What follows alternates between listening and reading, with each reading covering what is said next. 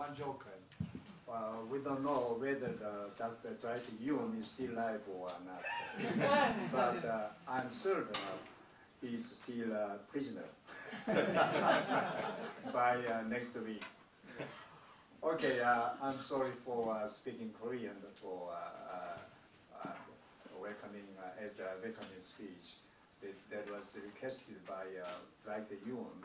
Uh, that is uh, the traditional uh, ceremony. Uh, so uh, uh, from now on, I, I want to speak Korean. You speak English very well. 아, 네. Okay. 아, 오케이, move on.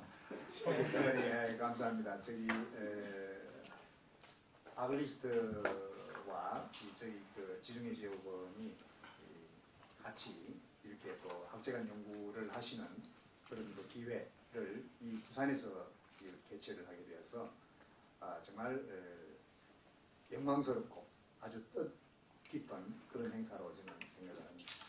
어떻게 한국에 오시면서 굉장히 주저하셨을 텐데 어떻게 와 보시니까 어때요? 아주 피스풀하죠. Uh, there's no more uh, war and uh, any uh, fear about uh, threatened by uh, North Korea. No more, I think. And uh, 한국은 굉장히 평안합니다. 학교 아이들 학교를 다니고 결혼도 하고 또 시장도 보러 다니고 아주 평안하고 저는 한국에 오신 것을 환영합니다. 그리고 여기 부산은 예, 한국의 제2도시인데 아시다시피 여기는 어, 해안을 끼고 있습니다.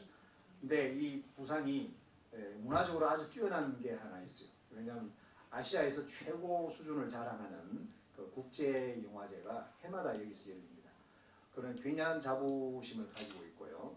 그런 부산에 있는 우리 지중해 지역원, 이 우리 아이 인스티튜트는 근 10년간 한국의 인문학, 특히 지역학을 선도하는 그런 역할을 했습니다.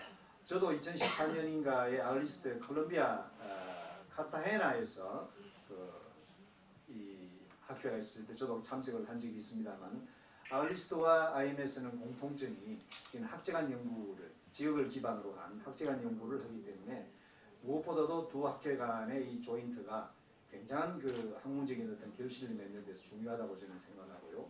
그런 점에서 오늘 어, 여러분들이 모여서 내일하고 모레까지 어, 토요일까지 이룰 여러 가지 어, 프레젠테이션이나 또는 어떤 디ser타시용, 디스- 디ser타시용 같은 그런 것들이 굉장히 그 의미 있고 또 결실을 맺을 수 있도록 하는 그런 그 장이 될 것으로. 하여튼 anyway 여러분들 오시느라 먼 길 오시느라 고생하셨고 지금부터 어, 학문 지식 대장정을 시작하는데 여러분이 적극적으로 동참해 주시기를 바랍니다. 한국에 오시고 부산에 오시고 또 저희 지중해 지역원에 오신 것을 환영합니다. 대단히 감사합니다.